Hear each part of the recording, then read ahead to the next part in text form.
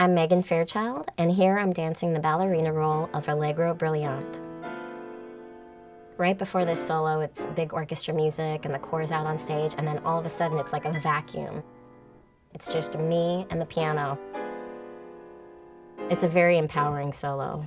It's almost like your movement is controlling the music. You dance quickly, the piano's moving quickly. You dance slowly, the piano's going slowly, especially right here in this part. I feel like my feet are like the piano keys. I always remember taller dancers doing this part, so I feel a huge responsibility to like exceed my size in this ballet. Your body's almost like taffy here, like stretching out, trying to be more than you really are physically. And then this nice little moment here, you gotta finally run to your partner and ground yourself a little bit. But then you're also kind of mad at him because he's just standing there the whole time while you're working really hard.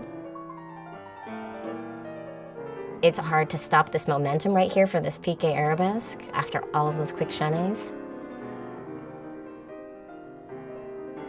This solo, it's so intense that I think sometimes my eyes are watering. You can't see anyone, everything's a blur around you, and I'm always happy once I get to this moment. I get to finally take my first breath it's also hard because you're still trying to look like a ballerina, even though inside you just want to crumble down to the floor. so uh, this part even is just as hard as the beginning. And then the corps comes back on to save you. then there's this nice moment of peace in the music and in the steps, and it's like a resolution to the madness that just happened.